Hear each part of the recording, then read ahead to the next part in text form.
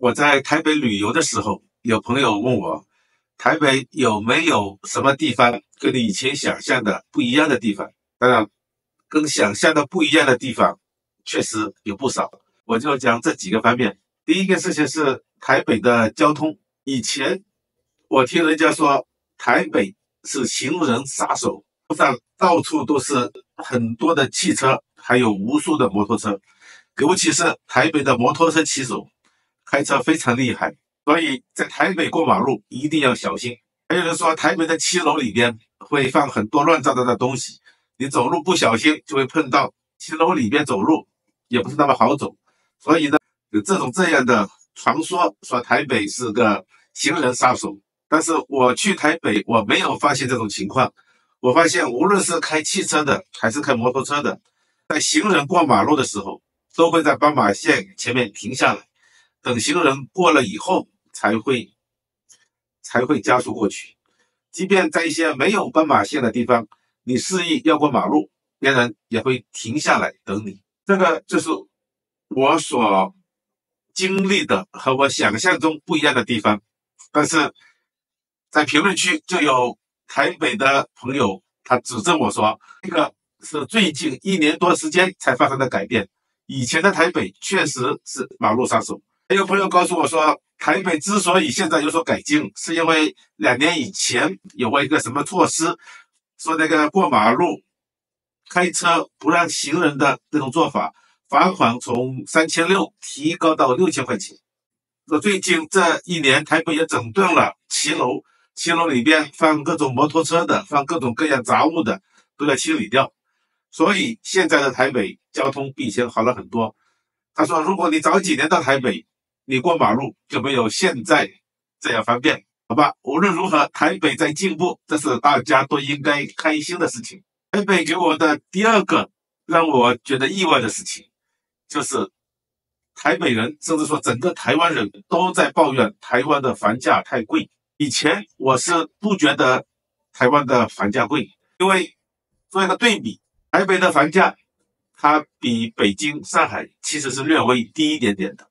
那么像台中、台南的房价，是新北县的房价，每个平方米两万几到三万块钱，这和中国的二线城市差不多。比如说，在中国的苏州、杭州，还有宁波这些地方，它都跟这些地方的房价差不多。厦门的房价是比较高的，厦门的房价比台中、台南、比新北都贵，略微低于台北。所以以中国。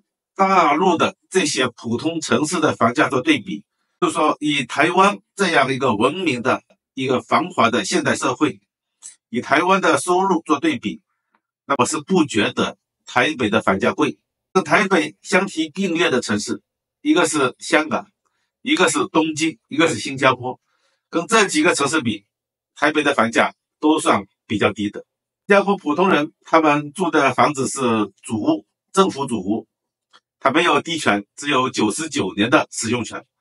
但是台北的房子，它是有永久的地权，有永久的产权。新加坡有永久地权、有永久产权的这样的房子，当然也有不少，只是它的价格比台北要贵太多，大约是台北这种同类房子价格的三倍左右。林先生的夫人张英最近就在新加坡。买了三间联排的店铺，加起来大约是九百平方米左右，那钱大概是人民币一亿块钱左右，还是很老很旧的房子。那这个价格显然也比台北的价格贵了很多很多，而且外国人在新加坡买房还要交百分之六十的印花税。所以如果一个外国人想去别的地方买一块，有永久产权的房子，他在新加坡买房所需要付出的钱，大概是台北同等房子的三倍左右。如果用新加坡的房子做对比，台北的房价确实是不算贵，甚至跟香港比它也不贵。东京、纽约、伦敦比台北的房子，我觉得也不算贵。所以贵不贵要看跟哪些城市比，你不能把台北这样一一座非常优秀的。非常文明的这样的城市，跟那些那些相对落后的那些社会环境也不那么好的城市比。比如说在缅甸的仰光，它的房价折合成人民币是三万块钱人民币一平米，价格跟新北市差不多。但是如果同样的钱让你住在新北还是住在仰光，我觉得显然住在新北这地方比住在缅甸要好很多。同样的钱，你也可以在台北买一座房子，也可以在胡志明买一座房子。那如果你让我在胡志明和台北之间选一个，那我毫无疑问我会选台北，而绝不会选胡志明。所以，当我们考虑房子价格的时候，不能够只说它多少钱一平米，也不能只看收入和和那个房价比，还得看看其他的，比如说你房子的持有成本。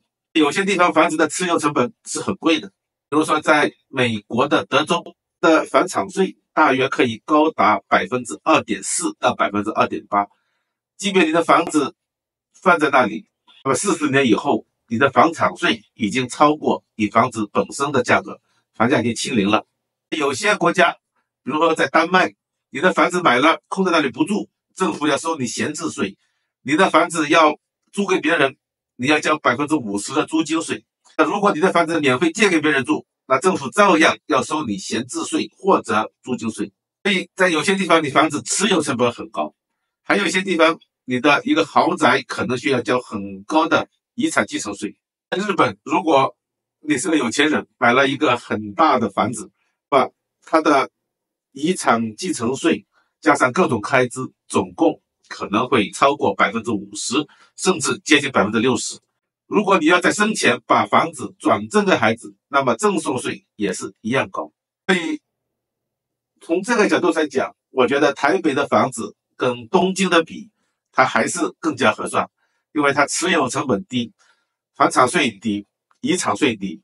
那有些台湾的年轻朋友，他肯定对我的观点不满意。因为他们需要买房子，一个需要买房的人来说，房价当然是越低越好。但是如果换个角度来想，已经拥有几套房子，就不会指望这个房价下跌。一般情况下，每当这个房价上涨一点点，你就会开心，因为房价一上涨，就是你的财产在增值。香港房价太高，让特首董建华为了解决这个问题，用各种措施想把房价降下来，结果呢？香港市民上街游行抗议，因为房价一跌，就是他们的财产减少了。所以房价是一个非常非常难说的问题，到底是房价高好呢，还是贵还是低好？在中国很多地方，房价在飞速下跌，一地哀嚎，政府忧心忡忡，天天要稳住房价，不许下跌。是按理说，房价当然是越低越好，让老百姓都买得起房，那是好事情。可是，真的房价跌的时候，它就成了大问题；房价涨的时候，反而不是问题。因为房价涨的时候，经常是经济往上蓬勃发展的那个时代。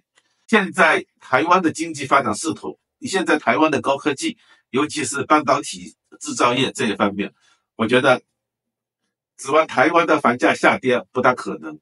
所以，对于没有买房子的朋友，我只能真心祝福你。来，你要找一个高薪的工作，成为能挣大钱的人。因为要指望台湾房价下跌，真的是太难了。我非常看好台湾未来的经济。今年新加坡的房价也是一直在涨，因为新加坡它经济好，很多富豪愿意搬过来住。那这种地方你怎么指望它房价下跌呢？那根本是不可能的。台北还有一点我想不到的是什么呢？因为以前我以为。台北应该是一个乱糟糟的，到处都有人上街游行抗议，大街上贴满了各种各样的标语和拉着各种横幅。我们看新闻里的台湾大选总是非常非常热闹，而且台湾人表现得非常激烈，要维护自己所拥护的党派或者某个候选人，对于其他的候选人抨击的也是非常强烈。我就想当然的以为台湾人很喜欢上街游行，很喜欢挂横幅，这个候选人会把自己的照片。在大街上贴得满满的，这是我以前以为的台北。但是很奇怪，到了台北，我在大街上竟然几乎见不到什么什么候选人的或者那个政治人物的那种头像和他们的政治主张，也没有看到谁上街去游行拉横幅，都没有看到。反的，你如果在日本的街头，每过几米，你就能看到哪个政党的候选人贴在一幅他们的照片，说他们的政治口号。虽然在日本民众对于政治完全不关心，那些人在街头演讲讲两个小时也拉不到五六个听众，但是他们确实是很喜欢在街头贴他们的政治主张，然后会把他们的竞选纲领塞到你们家的邮箱里边。尤其是日本共产党最喜欢往别人家里塞各种宣传资料了。如果你到泰国，你在清迈和曼谷，尤其是曼谷，满大街都是不同议员候选人的照片。我印象最深的是曼谷的女性议员候选人数量特别多，而且泰国还会经常有什么红三军、黄三军上街。即便没有红三军、黄三军的时候，像巴育在上台的时候，去年我还在看到很多人下雨天都站在街头，几十名一个人举着一个什么我看不懂的标语，也在什么政治抗议活动。所以泰国、日本。他们都会看到满大街的各种竞选口号，但是在台湾，我居然没有看到这种场景，也没有看到人上街游行。而在日本的京都这种地方，虽然是很小的地方，但是一到周末总会有好几场各种游行抗议活动，经常是几十个人或者一两百人那种小规模的，因为太大的日本人也凑不出那么多人数，毕竟日本人不是充满激情的。但是我一直以为。对于政治充满激情的台湾人，却没有把台北街头变得到处是口号、标语以及各种横幅示威都没有看到。当然，也许是我来的时候正是台北安稳的时候。我在想，如果我在大选以前来到台北，或许能够看到一些比较热闹的场景。